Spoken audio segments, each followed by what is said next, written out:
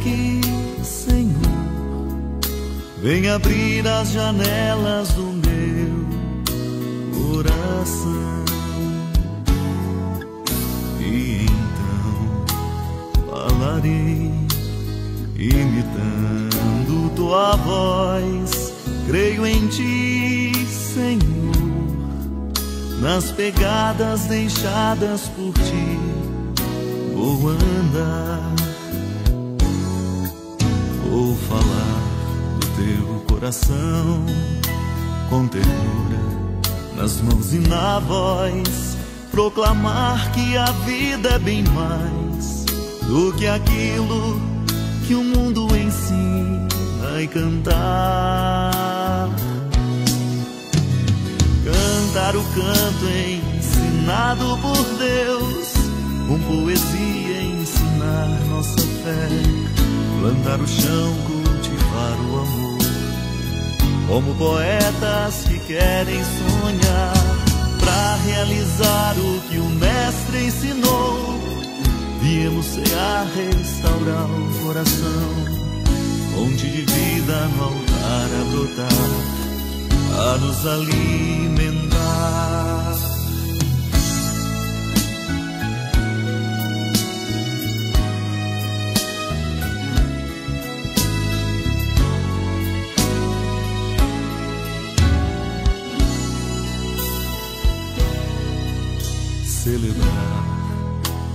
Viver pra no mundo ser mais.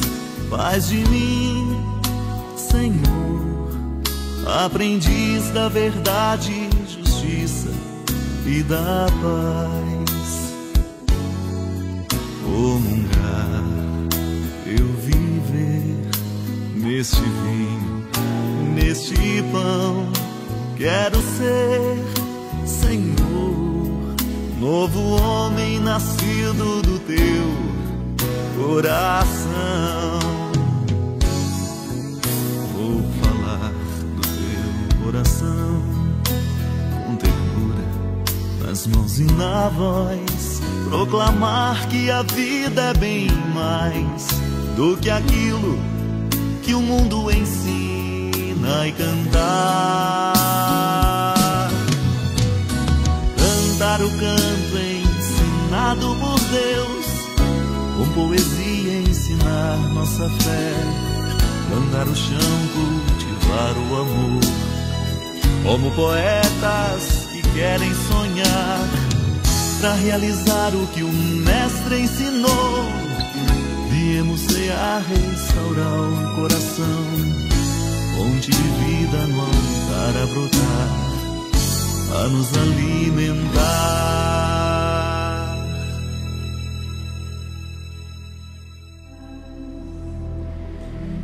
Bênção da coroa do advento. O nosso auxílio está no nome do Senhor. Que fez o céu e a terra. Senhor nosso Deus, sois doador de toda a bênção e a fonte de todo o dom perfeito. Abençoai esta coroa em honra do advento do Cristo vosso Filho e dai-nos esperar solícitos a sua vida que ele, ao chegar, nos encontre vigilantes na oração e proclamando o seu louvor. Pelo mesmo Cristo, Senhor nosso. Amém. Ó vem, ó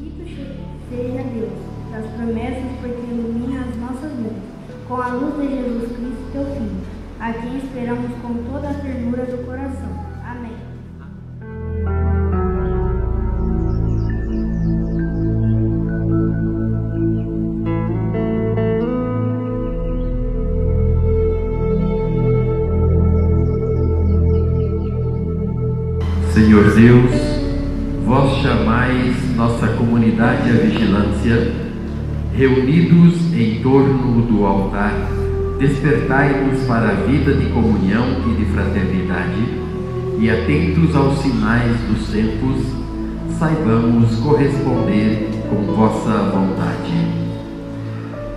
Iluminai-nos com a luz do vosso Espírito Santo e assim nos santifiquemos neste advento. Por Cristo nosso Senhor. Fazei-nos, Senhor, vigilante no amor, na misericórdia, na paz e na concórdia de vosso reino. Amém. Em nome do Pai, do Filho e do Espírito Santo. Amém. A graça e a paz de Deus, nosso Pai, e de Jesus Cristo, nosso Senhor, estejam convosco na comunhão do Espírito Santo. Bendito seja Deus que nos reuniu no amor de. Queridos irmãos e irmãs em Cristo, bom dia. Bom dia. Sejam todos bem-vindos para esta Santa Missa festiva para a nossa comunidade. Né? Queremos acolher com alegria os nossos catequizandos que hoje receberão a primeira Eucaristia. A partir de hoje, eles poderão participar da plenitude da Santa Missa. Santa Missa ela pode ser chamada de Eucaristia, porque a Eucaristia é o centro da celebração. E a partir de hoje, essas crianças estarão aptas a participar da plenitude de toda a riqueza que a igreja tem para oferecer através da Santa Missa. Que o pão eucarístico possa ser esse alimento espiritual que fortalece diante da tamanha necessidade que temos, diante de tanta maldade, tanta inversão de valores, tantas ciladas do inimigo que enfrentamos no dia a dia, é a Eucaristia que nos fortalece e que nos dá força para resistirmos às investidas do inimigo. E para celebrarmos dignamente essa Eucaristia, vamos fazer o nosso ato penitencial, reconhecendo as nossas culpas e pedindo perdão. Senhor, que vieste salvar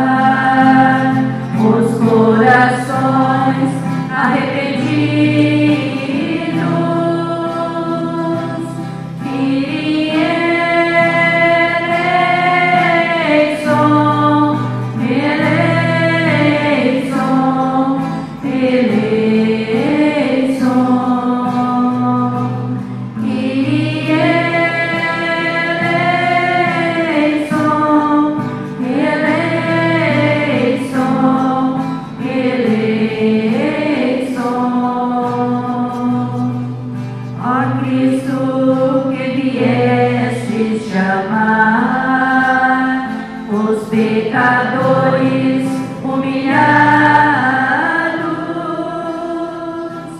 Cristo.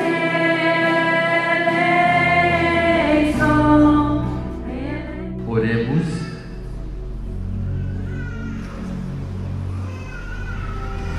Ó Deus Todo-Poderoso, concedei a vossos fiéis o ardente desejo de possuir o Reino Celeste, para que, acorrendo com as nossas boas obras ao encontro do Cristo que vem, sejamos reunidos à sua direita na comunidade dos justos, por nosso Senhor Jesus Cristo, vosso Filho, na unidade do Espírito Santo. Leitura do livro do profeta Isaías. Visão de Isaías, filho de Amós, sobre Judá e Jerusalém. Acontecerá nos últimos tempos que o monte da casa do Senhor estará firmemente estabelecido no ponto mais alto das montanhas e dominará as colinas. A ele acorrerão todas as nações. Para lá irão numerosos povos e dirão: Vamos subir ao monte do Senhor, à casa do Deus de Jacó, para que ele nos mostre seus caminhos e nos ensine a cumprir seus preceitos. Porque de Sião provém a lei, e de Jerusalém a palavra do Senhor. Ele há de julgar as nações e arguir numerosos povos. Estes transformarão suas espadas em arados e suas lanças em foices. Não pegarão em armas uns contra os outros, e não mais travarão combate. Vinde todos da casa de Jacó, e deixei-nos guiar pela luz do Senhor. Palavra do Senhor. Que alegria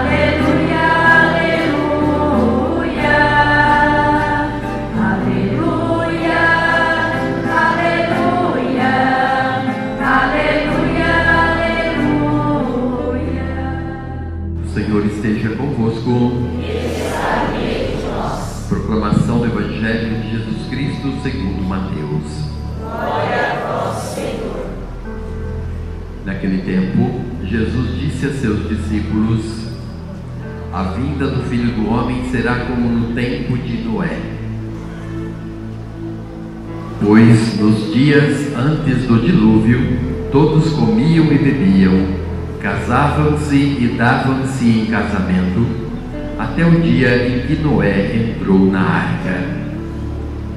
E eles nada perceberam, até que veio o dilúvio e arrastou a todos. Assim acontecerá também na vinda do Filho do Homem. Dois homens estarão trabalhando no campo, um será levado, o outro será deixado. Duas mulheres estarão moendo no moinho, uma será levada, a outra será deixada. Portanto, ficai atentos, porque não sabeis em que dia virá o Senhor. Compreendei bem isso. Se o dono da casa soubesse a que horas viria o ladrão, certamente vigiaria e não deixaria que a sua casa fosse arrombada. Por isso, também vós ficai preparados porque na hora em que menos pensais, o Filho do Homem virá. Palavra da salvação. Glória a vós, Senhor.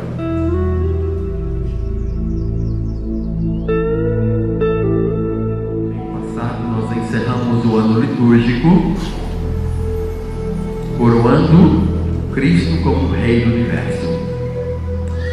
Hoje, primeiro domingo do Advento, estamos iniciando um novo ano litúrgico, nos preparando para o Natal, aguardando a chegada do menino Deus que vem. Isso significa que a liturgia ela é cristocêntrica. Jesus é o centro da liturgia. Nós iniciamos o ano litúrgico falando de Jesus, né? nos preparando para acolher a vida do menino e encerramos o ano litúrgico coroando o Cristo como Rei do Universo. Então, Jesus é o centro da liturgia, é o centro da igreja, é o centro da nossa vida. É por causa dele que vocês estão aqui hoje. É por causa dele que vocês se prepararam né, com a catequese. É por causa do Cristo ser o centro da nossa vida, que você der um trabalho para os nossos catequistas, né, que nós queremos agradecer os catequistas por essa missão tão nobre e que muitas vezes não é reconhecida. Né? Queremos valorizar esses voluntários que trabalham gratuitamente pelo Reino de Deus, anunciando Cristo, Rei do Universo, como centro da nossa vida. E a liturgia de hoje, esse Evangelho, nos fala de Jesus, da vinda do Filho do Homem. Duas vezes esse Evangelho fala da vinda do Filho do Homem. E como nós estamos nos preparando para o Natal, de repente alguém pensa, ah, mas o Evangelho está falando menos da vinda de Jesus, do do menino que vem vir no Natal. É isso que o Evangelho fala? Não é. Não é do menino, né? Não está falando do Natal, mas está falando do juízo final.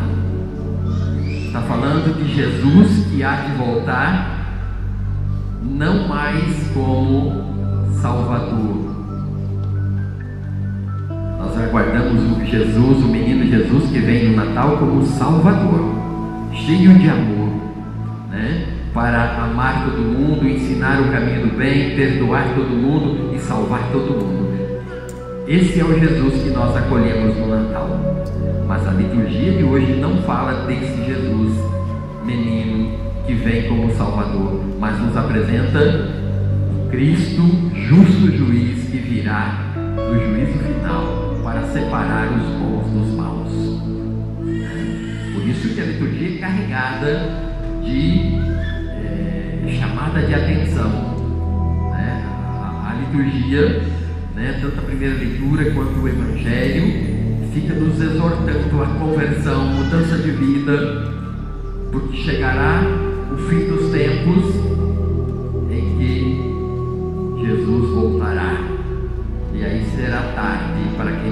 converteu, será tarde a conversão.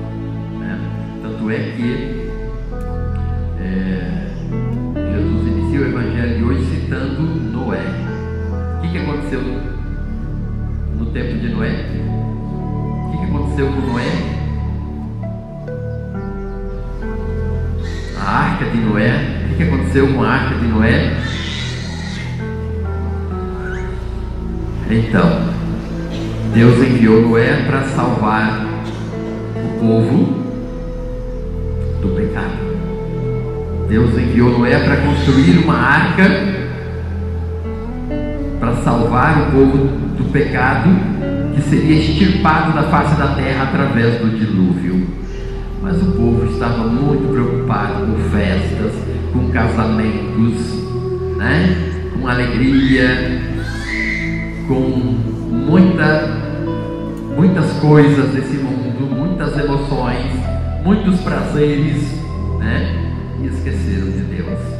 Esse povo que viram Moisés construindo a arca lá no meio do mato, ainda zombavam dele. Olha que velho maluco, se estivesse construindo essa, essa barca desse tamanho lá na beira do rio, mas aqui no meio do mato, olha que maluco, ficaram zoando de Noé. E festa. Quando começou a chover, quando Noé fechou a porta da arca e começou a enchente, aí eles correram. Aí acabou a festa. Eles viram que o negócio era sério. Abre a porta, Noé, mas aí era tarde.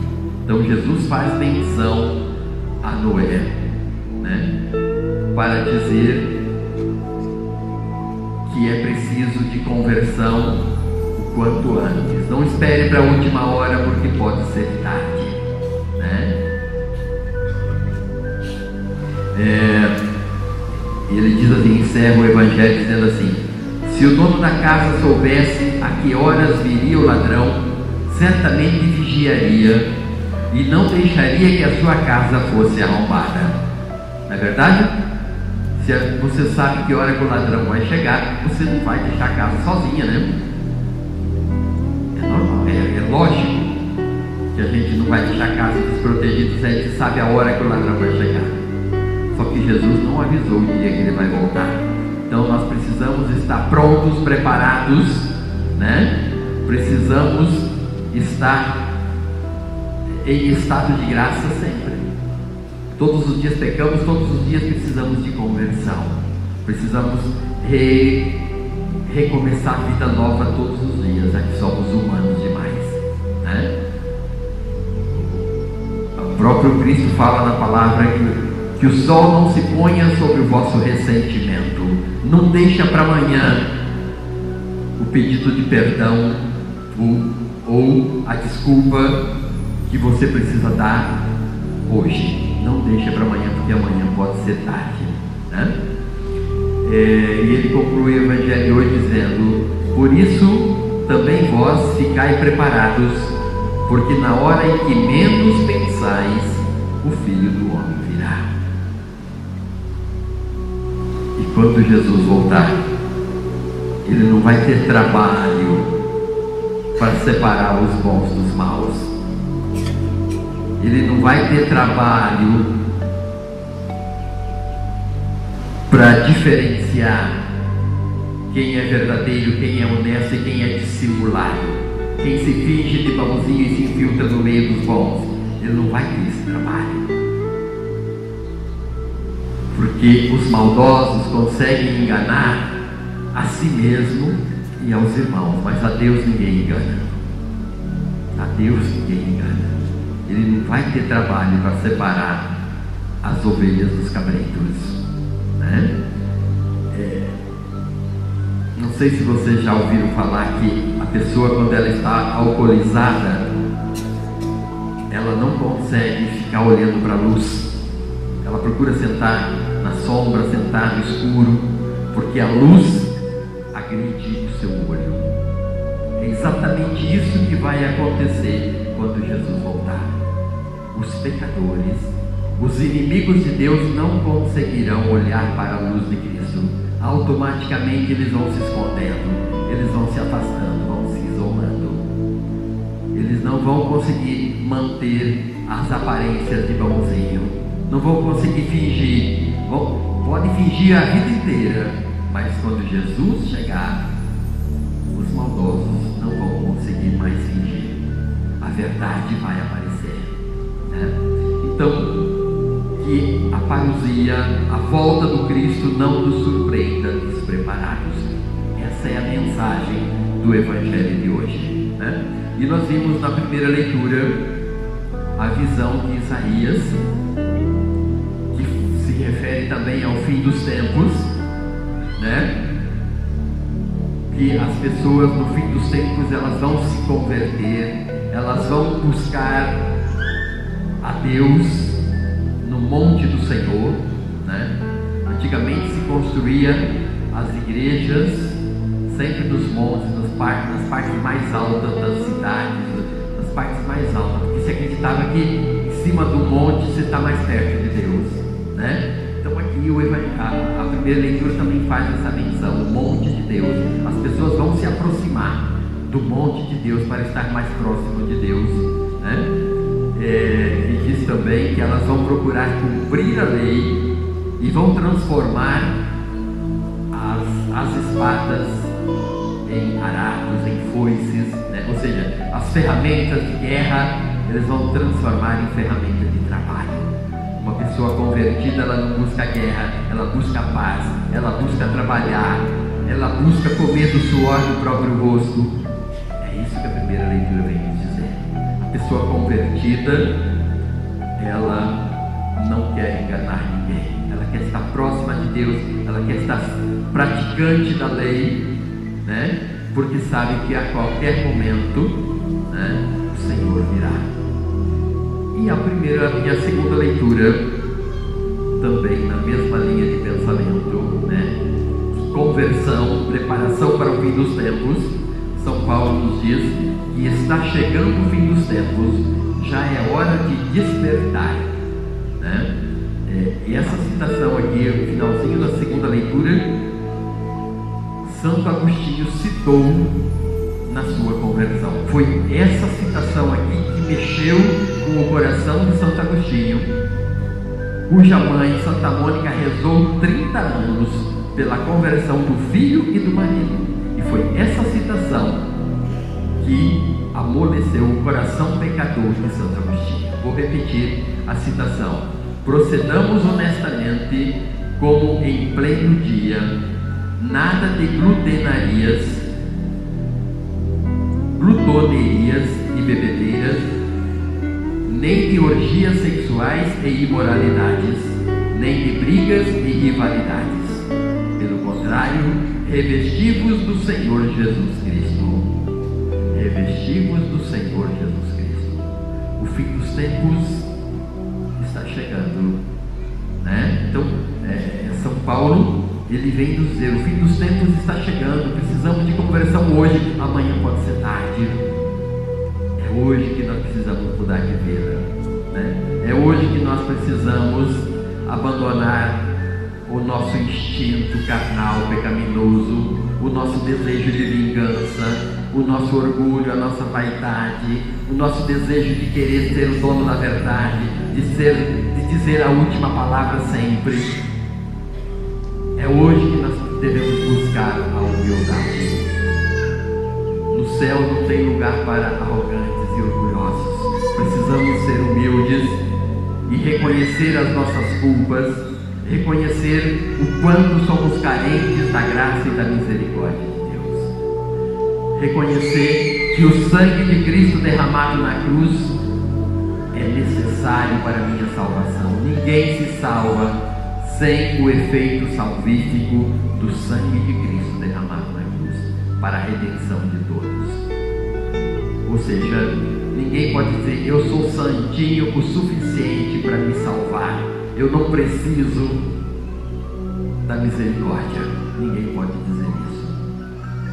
todos somos humanos, pecadores, né? humanos demais e todos precisamos da graça e da conversão. Por isso, todos os dias precisamos recomeçar vida nova. Parabéns por vocês estarem aqui. Parabéns, pais e mães, por manterem os seus filhos na catequese e buscarem o caminho do bem para os vossos filhos. O mundão tem as portas largas lá fora para destruir a todos, engolir a todos. E olha que está arrastando muita gente para lá. Muita gente não quer mais saber de igreja, muita gente não tem nem o batismo, não quer crisma, não quer primeira comunhão, não quer mais nada. Já está engolido, já estão engolidos pelo mal. Parabéns, papai e mamães, por vocês conservarem essa tradição, esse valor para os vossos filhos, para as vossas famílias. Parabéns, catequistas, por vocês serem modelos de virtude, modelos de preocupação e de trabalho pelo reino de Deus. A igreja agradece pelo empenho de Nós tivemos uma reunião dos párocos agostinianos no mês passado lá no Mato Grosso e a maior preocupação é vocacional. Será que Deus não está chamando mais? Os nossos seminários estão fechando as portas, não tem mais vocação. Será que Deus não chama mais? Ou é o mundo que tem um chamado mais atraente? A voz do mundo é mais gritante, é mais atraente, chama mais atenção. Precisamos fazer atenção para isso. Quem será o nosso Padre amanhã? Isso é muito preocupante. Isso é muito preocupante. Por isso somos convidados a rezar pelas vocações. Que vocês, ontem nós celebramos aqui a missa do, do, do Crisma, né? E, e esperamos que esses jovens, esses adolescentes que receberam o Crisma ontem, e que vocês também, após receberem o Crisma, continuem firmes na vida da igreja. Não vão erguer as mãos para o céu e dizer, graças a Deus acabou a catequese, agora eu não preciso mais da igreja. Porque é isso que acontece. Aí começa a rebeldia, aí começa a teimar e bater o pé contra o pai e a mãe que insiste em vir na missa. É. Vocês, vocês já são inteligentes, vocês já têm maturidade psicológica suficiente para saber separar o bem do mal, para saber o que vocês querem para o futuro de vocês. Se vocês querem continuar no caminho do bem, no caminho do Cristo, ou querem deixar-se engolir pelo mundão lá fora. Saibam que lá haverá choro e ranger de dentes. O prazer, a alegria que o mundo prega é enganosa, é falsa. Cuidado com isso. A verdadeira felicidade é a felicidade no bem, na prática do bem. Sentir prazer em servir sentir prazer em ser bom. E o mundo prega sentir prazer em ser mal e fazer maldades. Vocês são livres para escolher o que, vocês querem. A igreja reza, o coro dos apóstolos reza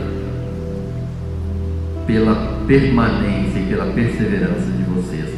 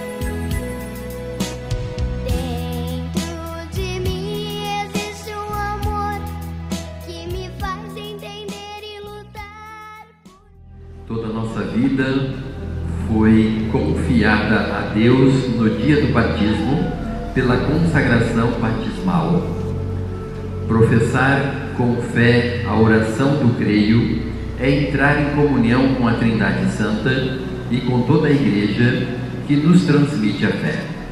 O Catecismo da Igreja Católica nos diz que este símbolo, o creio, é o tesouro de nossa alma. Assim convido os catequizandos e toda a Assembleia a proclamar a fé da Igreja. Aqui estão os nossos filhos e recebemos de Deus pela união sagrada do matrimônio. Como pais,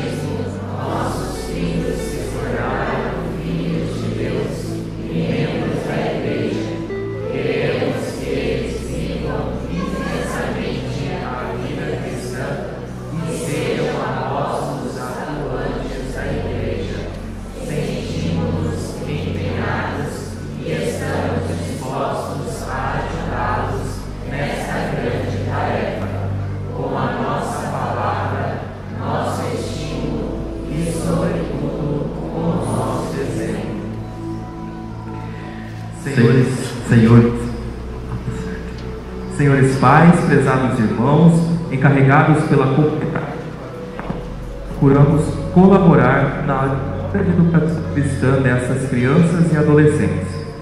Testemunhamos perante todos que eles estão conscientes do significado da primeira Eucaristia que hoje vão receber.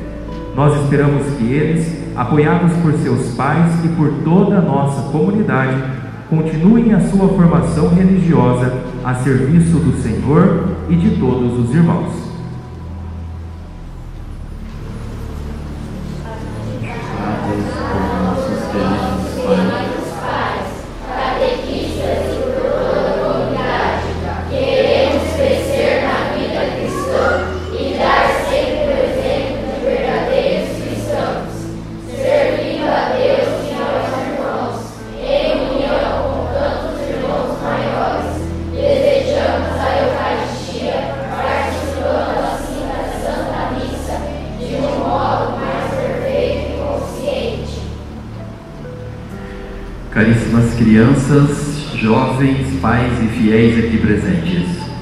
Pelo batismo, nos tornamos filhos de Deus e membros da sua grande família, que é a Igreja.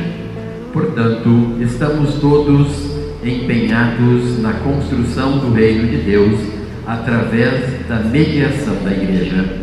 Por isso, prometem vocês viverem como filhos de Deus, respeitando sempre a dignidade humana e cristã de vocês próprios e das outras pessoas?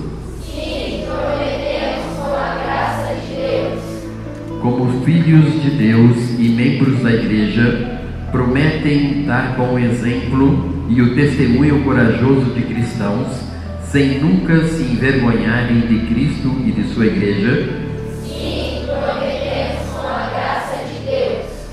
Como filhos de Deus, vocês prome- prometeram nunca negar a fé que receberam do Cristo e da Igreja no dia do seu batismo. Renovemos, pois, com firmeza e serenidade os nossos compromissos batismais, fazendo agora a nossa profissão de fé.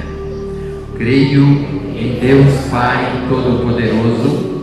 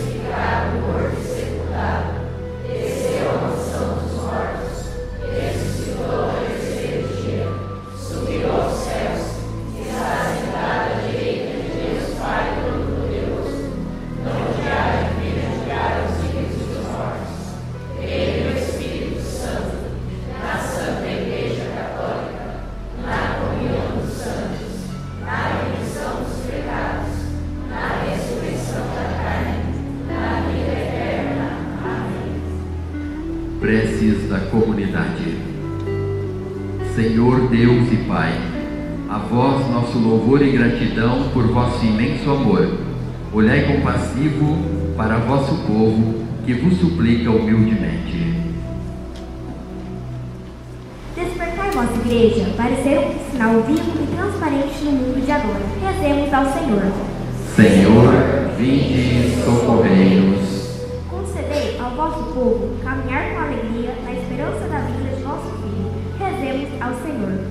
Senhor, vinde e socorrei-nos.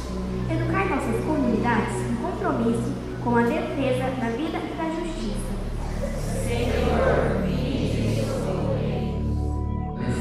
na certeza de vosso amor e de vossa misericórdia, caminhamos pressurosos ao encontro de vosso Filho Jesus Cristo, que vem para nos salvar.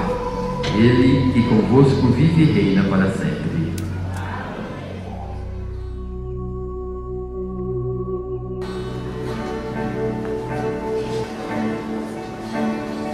Maravilha, Senhor, estar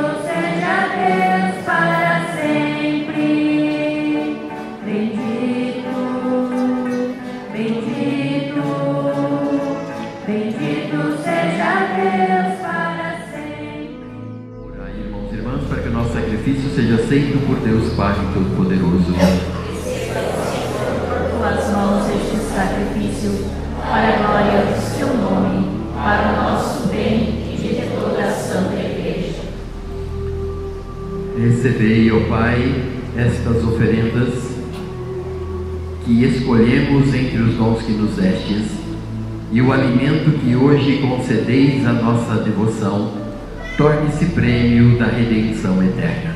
Por Cristo nosso Senhor.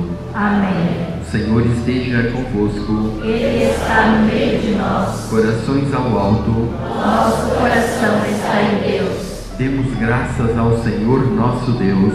É o nosso dever, a nossa salvação. Na verdade, é justo e necessário, é nosso dever e salvação dar-vos graças sempre e em todo lugar. Senhor Pai Santo, Deus eterno e todo-poderoso, por Cristo Senhor nosso, revestido da nossa fragilidade, Ele veio a primeira vez para realizar seu eterno plano de amor e abrir-nos o caminho da salvação. Revestido de sua glória, Ele virá uma segunda vez para conceder-nos em plenitude os bens prometidos que hoje vigilantes esperamos. Por esta razão, agora e sempre, nós nos unimos aos anjos e a todos os santos, cantando a uma só voz. Santo é o Senhor, terra céus, cantam em seu louvor. Pai de misericórdia, a quem sobem nossos louvores, nós nos pedimos por Jesus Cristo, vosso Filho e Senhor nosso, que abençoeis estas oferendas apresentadas ao vosso altar. Pai, nossa oferenda, ó Senhor. Nós as oferecemos pela vossa Igreja Santa e Católica, concedei-lhe paz e proteção, unindo-a num só corpo e governando-a por toda a terra. Nós as oferecemos também pelo vosso servo, Papa Francisco, por nosso Bispo João Carlos e por todos os que guardam a fé que receberam dos apóstolos. Conservai a vossa igreja sempre unida. Lembrai-vos, ó Pai, dos vossos filhos e filhas e de todos os que circundam esse altar, dos quais conheceis a fidelidade e a dedicação em vos servir. Eles vos oferecem conosco esse sacrifício de louvor por si e por todos os seus, e elevam a vós as suas preces para alcançar o perdão de suas faltas, a segurança em suas vidas e a salvação que esperam. Lembrai-vos, ó Pai, dos vossos comunhão com toda a Igreja, veneramos a sempre Virgem Maria, Mãe de nosso Deus e Senhor Jesus Cristo, e também São José, esposo de Maria, os santos apóstolos e mártires, Pedro e Paulo, André e todos os vossos santos, por seus méritos e preces, concedei-nos sem cessar a vossa proteção. Em comunhão com toda a Igreja, aqui estamos. Recebei, ó Pai, com bondade, a oferenda dos vossos servos e de toda a vossa família. Dai-nos sempre a vossa paz, livrai-nos da condenação e acolhei-nos entre os vossos eleitos. Dignai-vos, ó Pai, aceitar e santificar estas oferendas, a fim de que se tornem para nós o corpo e sangue de Jesus Cristo, vosso Filho e Senhor nosso. Santificai ao. Na noite que ia ser entregue, ele tomou o pão em suas mãos, elevou os olhos a vós, ó Pai, deu graças e o partiu, e deu a seus discípulos, dizendo: Tomai todos e comei, isto é o meu corpo que será entregue por vós.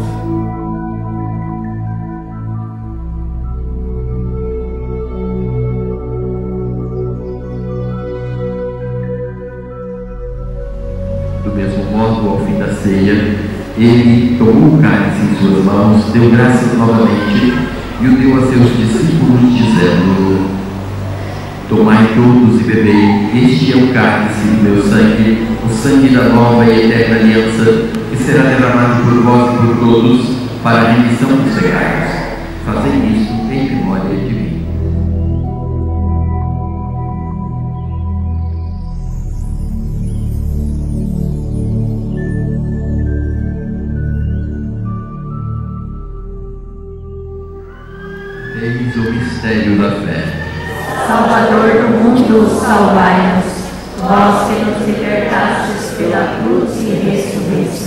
Celebrando, pois, a memória da paixão do vosso Filho, da sua ressurreição dentre os mortos e gloriosa ascensão aos céus, nós, vossos servos e também vosso povo santo, vos oferecemos, ó Pai, dentre os bens que nos destes, o sacrifício perfeito e santo, pão da vida eterna e cálice da salvação.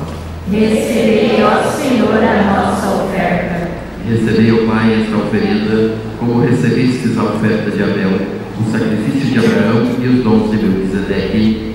Nós vos suplicamos que ela seja levada à vossa presença, para que, ao participarmos deste altar, recebendo o corpo e o sangue de vosso Filho, sejamos repletos de todas as graças e bênçãos do céu. Recebei, ó Senhor, a nossa oferta. Lembrai-vos, ó Pai, dos vossos filhos e filhas que partiram desta vida marcados com o sinal da fé. A eles e a todos que adormeceram no Cristo, concedei a felicidade e a luz e a paz. Lembrai-vos, ó Pai, dos vossos filhos. E a todos nós, pecadores, que confiamos na vossa imensa misericórdia, concedei não por nossos méritos, mas por vossa bondade, o convívio dos apóstolos e mártires, João Batista e Estevão, Matias e Barnabé, e todos os vossos santos, por Cristo Senhor nosso. Concedei-nos o convívio dos eleitos. Por ele não cessais de criar e santificar esses bens e distribuí-los entre nós. Por Cristo, com Cristo, em Cristo, a vós, Deus Pai Todo-Poderoso, na unidade do Espírito Santo, toda a honra e toda a glória, agora e para sempre. Amém. Amém. Amém.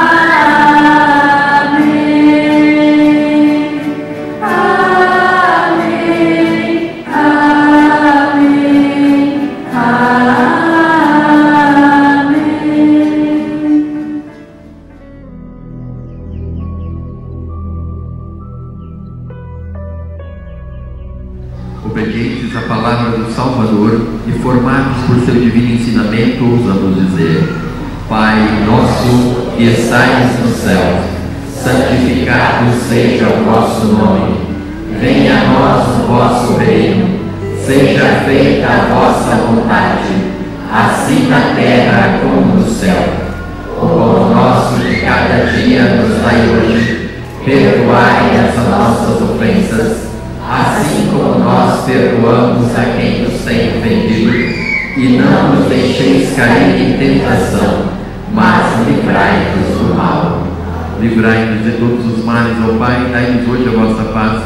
Ajudados pela vossa misericórdia, sejamos sempre livres do pecado e protegidos de todos os perigos, enquanto vivemos a esperança. Aguardamos a vinda do Cristo Salvador. Vosso é o reino, o poder e a glória para sempre. Cristo, dissestes aos vossos apóstolos: Eu vos deixo a paz, eu vos dou a minha paz. Não olheis os nossos pecados, mas a fé que anima a vossa igreja. Dai-me segundo o vosso desejo a paz e a unidade. Vós que sois Deus, o Pai e o Espírito Santo. Amém. A paz do Senhor esteja sempre convosco. O amor de Cristo nos uniu. Cordeiro de Deus que tirais o pecado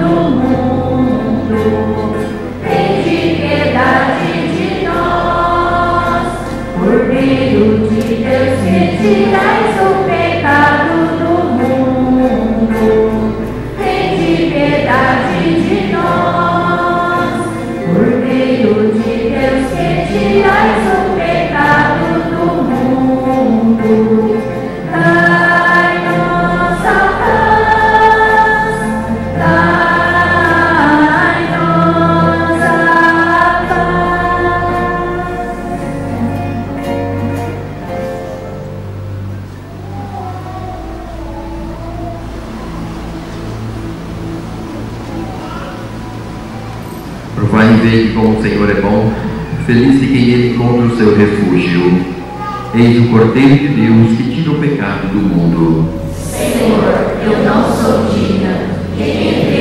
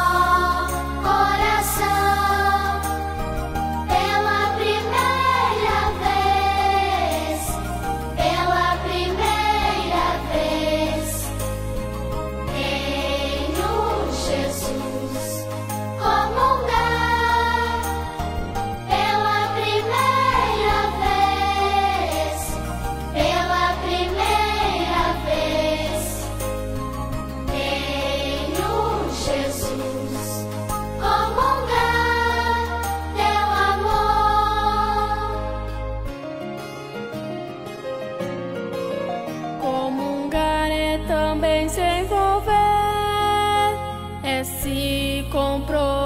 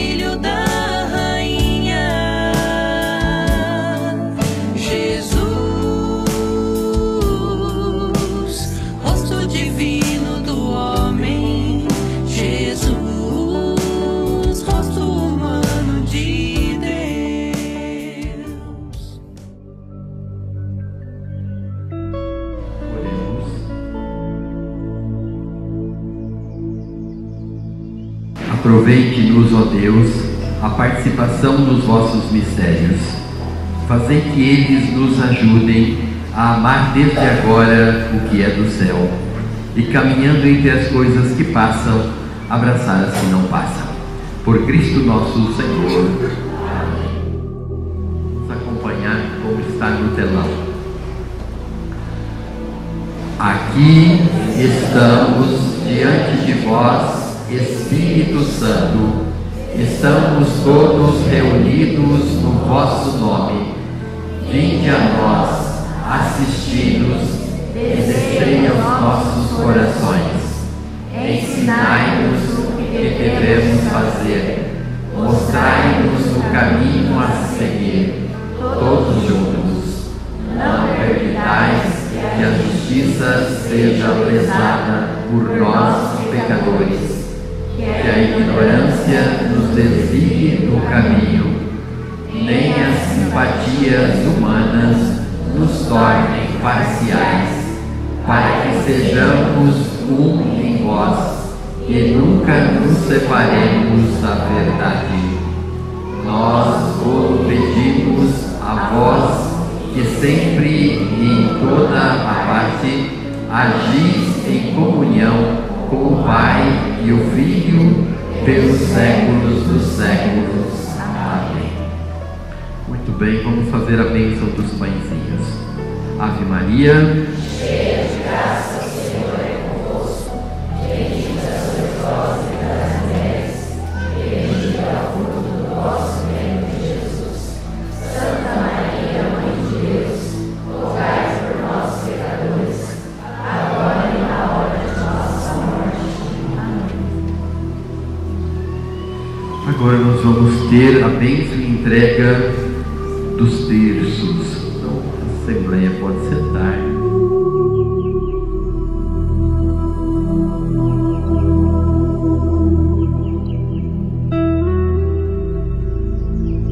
Ó Deus, proteção do vosso povo, abençoai esses terços que nos ajudam a meditar vosso plano de amor. Nós vos pedimos, ó Deus de bondade, por todos os catequizandos e seus familiares, para que façam da oração do terço um meio para crescer na fé. Por Cristo nosso Senhor. Amém. Maria, minha mãe, Maria, queria te falar de amor,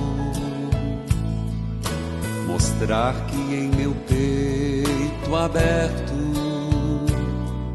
cultivo um jardim em flor, cultivo um jardim de rosas que não tem espinhos pra te machucar. Cultivo um jardim rosas perfumadas pra te ofertar. Maria, eu que não sabia como era tão sublime amar. Agora, Mãe do céu, Maria, contigo sigo a canto pela vida fora, embora encontre pedras, não vou mais parar. Pois sei que com você, Maria, minha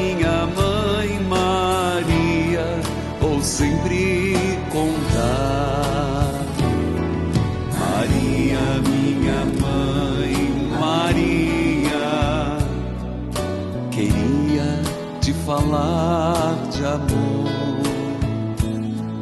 mostrar que em meu peito aberto cultivo um jardim em flor.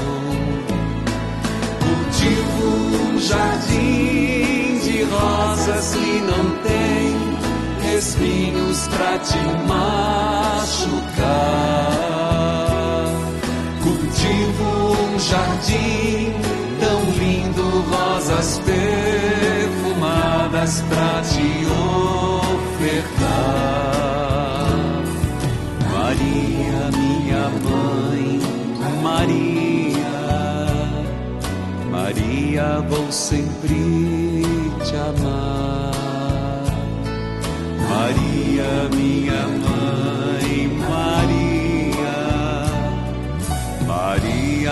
sempre te amar.